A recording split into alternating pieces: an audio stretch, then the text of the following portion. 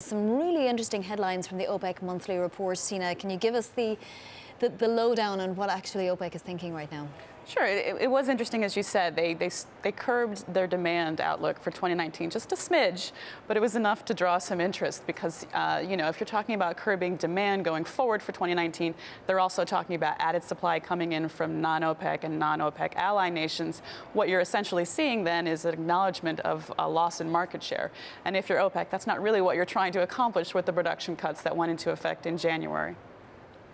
Tina, how does that sit side by side by the, the latest Khaled Al comments, which have come out, which seem to suggest that OPEC is, um, or Saudi at least, is stepping up and deliver maybe more cuts than the OPEC Plus deal had prescribed?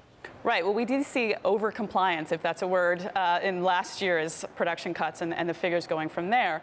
Uh, so far for January, the report indicated it was about 86% compliance. Uh, and Saudi Arabia is basically accounting for the majority of that compliance. And what was interesting about the report that we heard from the FT was that the Saudi oil minister is essentially saying that they'll be at 9.8 million barrels a day by March. If that's true, that would be the lowest output level for them since around early 2015. It also represents 500,000 barrels a day more than they promised to cut. So you can see that the Saudis are quite serious about trying to maintain prices, and you've seen the oil price today respond in kind.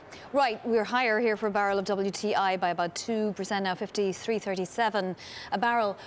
What did OPEC say about the US, and what does it portend for the US? It continues to see higher output from the U.S. And I think we're also looking for some numbers today from the Energy Information Administration here in the U.S. about what its outlook will be going forward for U.S. production uh, and whether or not they also are going to curb demand. We have the IEA tomorrow, not to give you too many acronyms, the IEA is putting out its monthly report tomorrow.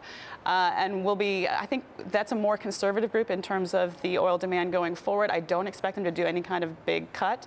They tend to wait until the IMF moves before they actually cut. But yes, if you're talking about production outside of OPEC, the U.S. is a major concern. Tina, are Gulf refiners still struggling with access to some of the more sour grade crudes as a result of Venezuela?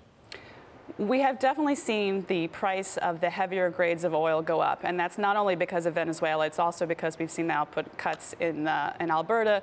We've seen the Saudis, uh, we have reporting saying they're specifically targeting the U.S. in terms of what, where they're cutting their shipments. So what was interesting is we saw the Chinese overnight uh, selling uh, that heavier grade at a $5 premium. Normally it sells at a discount to WTI, and that indicates that there is some tightening in the market. And then if you look at Venezuela specifically, look, the, the report today indicates they're at they have a 19th consecutive month of production declines, and they're at they're producing around the level that they were in the 1940s. This does not yet show the effect of the U.S. sanctions on PDVSA, so I think in February that number could go even lower.